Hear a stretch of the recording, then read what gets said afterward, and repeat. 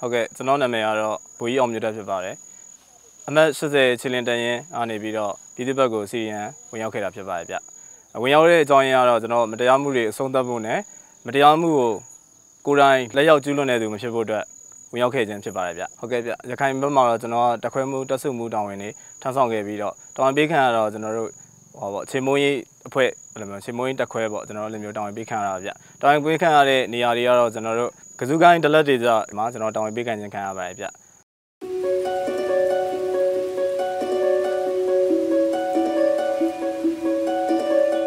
ခုဖြစ်နေတဲ့ပြည်တင်းစစ်တော်တော်များများကျွန်တော်တိုင်းရင်းသားလက်နက်ကင်တွေကိုဘယ်လိုမျိုးတိုက်နေရတဲ့ပုံစံဖြစ်နေရပါဗျဖြစ်နေရဆိုတော့တိုင်းရင်းသားလက်နက်ကင်တွေရဲ့သူတို့ရဲ့ဒေတာသူတို့ရဲ့ဘာသာယူဝါဒဒရေထုံးစံတွေကိုကျွန်တော်တို့ကတိုက်ခိုက်နေတယ်လို့ဖြစ်နေရဗျအဲ့လိုဖြစ်နေတဲ့အတွက်ကြောင့်မလို့လဲ ဒီသူများတိုင်းရင်းသားတွေရဲ့နေမြေကိုပေါ့သူများအိမ်ကိုကျွန်တော်တို့ကဝင်တယ်လို့ဖြစ်နေတဲ့ကြောင့်မလို့လဲရှုံးနေရလေကျွန်တော်အနေနဲ့ယူဆပါဗျ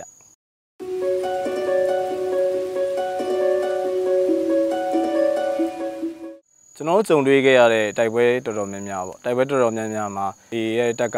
အဖွဲ့တော်တော်များများကလက်နက်ကြီးတွေပြစ်တယ်ပြီးလက်နက်ငယ်တွေပြစ်တယ်ဆိုလဲသူတို့က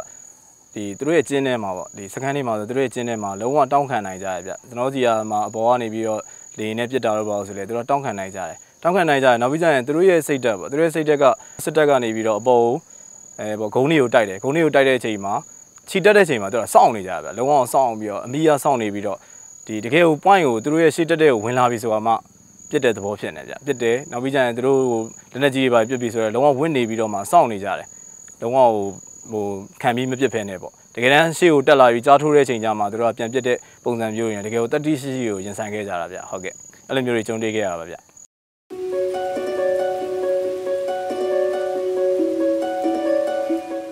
ဟုတ်ကဲ့ KR ပြည်နယ်ကိုကျွန်တော်တို့ဒီ2020ခုနှစ်ပေါ့6လပိုင်းမှာကျွန်တော်တို့ KR ပြည်နယ်ကိုရောက်သွားတယ်ပေါ့ KR ပြည်နယ်ရောက်သွားတဲ့အချိန်မှာကျွန်တော်တို့အန်းကနေပြီးတော့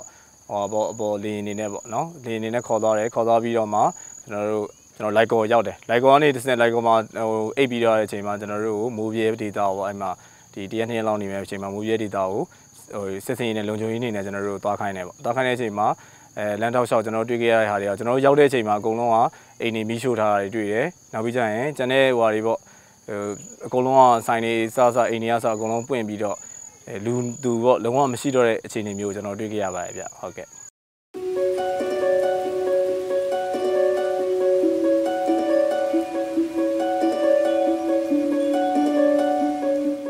အာနာသိန်းတယ်ပေါ့အာနာသိန်းတဲ့အချိန်မှာအာနာရှင်တောင်းမှလုံနေတဲ့သူတချို့ကကြတာတကယ်ဟိုဟိုအာနာရှင်ပြန်ဆန်သွားတယ်ပေါ့ကျွန်တော်တို့ဒီဟိုမှာဖေဖော်ဝါရီလမှာကျွန်တော်တို့အာနာသိန်းခဲ့တယ်အာနာသိန်းတဲ့အချိန်မှာအဲအာနာသိန်းပြီးတော့အဲနေကင်းပိုင်း12နာရီလောက်မှာစပြီးတော့အာနာသိန်းလိုက်ပြီးဆိုတော့ကျွန်တော်သိရတယ်ပေါ့နော်သိရတဲ့အချိန်မှာညတနာရီမှာတော့ကျွန်တော် line တွေဖြတ်ထားတာပေါ့ line တွေဖြတ်ထားတော့ကျွန်တော်မသိရအောင်မသိရချိန်မှာ12နာရီထိုးအတိမှာကျွန်တော်အဲ့မှာကျွန်တော်ရခိုင်ပြည်နယ်မှာရှိနေတဲ့အချိန်မှာသိရတယ်ပေါ့သိရတဲ့အချိန်မှာ အဲ့ချိန်မှာပျော်နေတဲ့သူတွေလည်းရှိတယ်ဗျနော်ပျော်နေတဲ့သူအာနာသိန်းသွားတော့ပျော်နေတဲ့သူတွေလည်းရှိတယ်ဗျအာနာသိန်းကအရင်လိုမျိုးငါတို့အဲဖြစ်တော့မယ်တို့ဘာတို့ပေါ့ဗျာဘယ်လိုဘယ်လိုလုပ်တော့မယ်ဘယ်လိုလုပ်တော့မယ်ဆိုပြီးတော့ပြောနေရသူပေါ့အစိုးဘက်ကနေပြောနေရသူတွေလည်းရှိရဗျဟုတ်ပြောချင်တာပေါ့အာနာသိန်းစက်တက်ထဲမှာဘယ်လိုမျိုးတွေရှိလဲဆိုတော့လူနှမျိုးနှစားကွဲနေတာပေါ့တချို့ကတော့တော့ဒီမလုတ်မလုတ်ချင်ဘူးပေါ့မလုတ်လဲမလုတ်ချင်ဘူးနောက်ပြီးကျရင်အကြောင်းမျိုးကြောင့်အထဲထဲမှာပဲနေနေရတယ်ဘယ်လိုမှအဲစီဂျီယန်လုပ်ဖို့ပေါ့တက်ကနေပြီးတော့ ထွက်ပြေးဖို့ဆိုတာဘယ်လိုမှအဆင်မပြေတဲ့အနေအထားတွေရှိရဗျဟုတ်တချို့ကတော့အဲ့လိုမဟုတ်ဘူးဗျဒီတက်ထဲမှာနေမယ်တာဝန်ထမ်းဆောင်ပြီးတော့ဒီဆီယနာရှင်အာနာသိမ့်လိုက်တာမှန်တယ်နောက်ပြီးကျရင်ဒီလိုလုပ်တာသူတို့အတွက်ဟိုလုံးဝမှန်တရားကြီးပါပေါ့နော်ယူဆတာဘာလို့ဆိုတော့တော်တော်များများပေါ့ကျွန်တော်တို့ဒီနောက်ပိုင်းဒီစစ်သားတွေထွက်ပေါ့နော်ရှေ့ကဖြစ်ခဲ့တဲ့လူဟောဆိုရင်လူကြီးအထက်ပိုင်းတွေတော်တော်များများကပေါ့နော်ဒီ88နောက်ပိုင်းမှာလည်းဖြစ်ခဲ့တဲ့သူတွေတော်တော်များတော့ကြတာအဲ့အဲ့လူတွေကပေါ့အာနာရှင်ရဲ့အရသာကိုသူတို့က ပို့ပြီးတော့ကြိုက်နှစ်သက်ကြပါရဲ့ဗျဟုတ်ကဲ့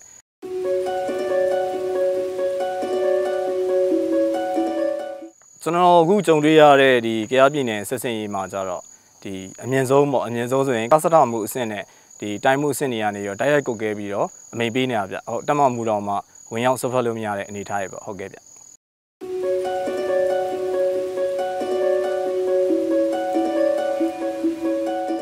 ဟုတ်ကဲ့တော်တော်လေးကိုဘယ်လိုပြောမလဲ တကယ်မြို့ပြကြီးကိုရောက်တယ်လို့တော်တော်ဝမ်းနေတဲ့ပုံစံခံစားရပါဗျာတခါမှလည်းမကြုံမှုမတွေ့ဘူးပါဗျာဒီကိုယ်နိုင်ငံမှာဒီလိုဖြစ်လာလိမ့်မယ်လို့လည်းကျွန်တော်တို့ဘလို့မအောင်မတွေးထားပါဘူးဗျဟုတ်ကဲ့မတွေးထားဘူးဒီလိုမျိုးဖြစ်လာလိမ့်မယ်လို့မတွေးထားတဲ့တကြောင်မလို့စိတ်ခံစားချက်ကတော့မကောင်းဘူးဗျဟုတ်ကဲ့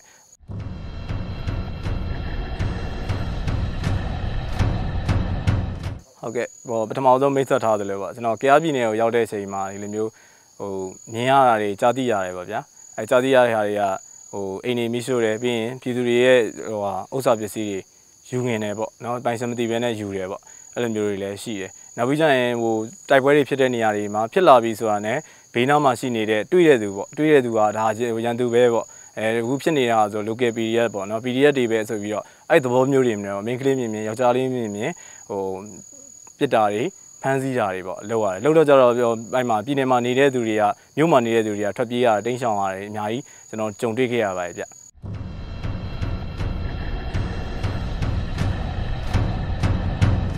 ပြောမယ်ဆိုရင်ဗျာဟိုပေါ့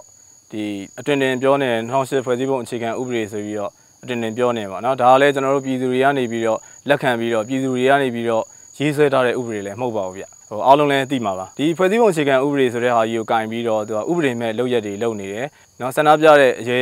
နော်ရောက်ပြီးသားကလေးတွေရောအရေမြောက်တဲ့ကလေးတွေရောအကုန်လုံးကိုတပ်ဖြတ်နေတာတွေမြင်တွေ့နေရတာဗျမြင်တွေ့နေရတယ်နောက်ပြီးကျရင်ခုဆိုလဲပောက်ကရ40စကားတွေပေါ့ဗျအဲ့လိုမျိုးတွေပြောနေရတယ်ကျွန်တော်တို့ကဟိုကြားနေသိနေရတယ်ပေါ့နော်ဘာတွေလုပ်မယ်ညာတွေလုပ်မယ်ပေါ့မဖြစ်နိုင်တဲ့ဟာတွေကိုစိတ်ကူးရင်ဆန်ဆန်နဲ့ပြောနေရတာတွေလည်းအကိုတို့လည်းအကုန်လုံးကြားသိမှာဖြစ်ပါတယ်ဗျဟုတ်ကဲ့အဲ့ကြတော့ကျွန်တော်အနေနဲ့ထင်မယ်ဆိုရင်တော့ ဟိုအာနာအရန်ဟိုအာနာမမောပြီးတော့ဗောနော်။ဒီဟိုကျွန်တော်တို့တော်တော်များများသိမှာပါဗျ။နော်ပထမဆုံးကာဝေးစီချုပ်ဖြစ်တယ်ပြီးကြရင်ဒုတိယအသက်တန်းမှာလည်းထပ်ပြီးတော့ကာဝေးစီချုပ်လုတ်ပေးတယ်။နောက်နောက်လူကိုလည်းဟိုနေရာမေးပေါ့နောက်လူကိုနေရာမေးတဲ့အကြောင်းရင်းကိုမေးတော့ကြတော့လေဟိုသူ့ထက်နော်သူ့ထက်တော်တဲ့သူမရှိလို့ကြောင့်မပေးတာပေါ့အဲ့လိုမျိုးပုံစံလေးတွေနဲ့ပြောတယ်နောက်ပြီးကြရင်နောက်တစ်ခါထပ်ပြီးတော့ဒီတက်တန်းပေါ့ဒီတက်တန်းလုံးဝကုန်တော့မဲ့အချိန်ပေါ့နော်65နှစ်ရှိပါတယ်အသက်65နှစ်ကျော်တဲ့အချိန်မှာနောက်ထပ်အသက်80အထိ နေလို့ရမယ့်တက်တန်းအောင်ထပ်ပြီးတော့တိုးကျင်တယ်ပေါ့နော်တိုးကျင်တယ်ပြီးရင်တမရလည်းဖြစ်ချင်တယ်အဲအဲ့လိုမျိုးပုံစံတွေကြောင်းမလို့ဆိုတော့ကျွန်တော်ထင်တာတော့လုံးဝကိုဟိုနော်သူ့ရဲ့အာဏာကိုတော့မစွန့်လွတ်နိုင်ဘူးနောက်ပြီးကြရင်သူ့ရဲ့စီးပွားရေးလုပ်ငန်းတွေကလည်းအာဏာရှိရင်စီးပွားရေးလုပ်ငန်းတွေလည်းအများကြီးလုပ်နိုင်တဲ့အခြေအနေဖြစ်နေတယ်ပေါ့နော်အာဏာရှိပြီဆိုရင်ဘာဖြစ်ဖြစ်စီးပွားရေးလုပ်ငန်းတွေလဲပတ်ဖို့အတွက်သူ့အနေနဲ့အခွင့်အရေးတွေအခွင့်အလမ်းတွေအများကြီးရှိတယ်ပေါ့နော်မိသားစုတွေအဲကျန်တဲ့ဟိုသူတို့ရဲ့သားသမီးတွေအခွင့်အလမ်းတွေအများကြီးရှိတဲ့အတွက်ကြောင့်မလို့ဒီလိုမျိုး လှုပ်လိုက်တယ်လို့ကျွန်တော်ထင်တယ်ဗျပြည်သူပေါ်အရင်စေတနာရှိလို့နိုင်ငံကြီးပျက်စီးမှဆိုလို့တော့မုန်းနိုင်လို့ကျွန်တော်အနေနဲ့ထင်မြင်ယူဆမိပါတယ်ဗျဟုတ်ကဲ့ဗျ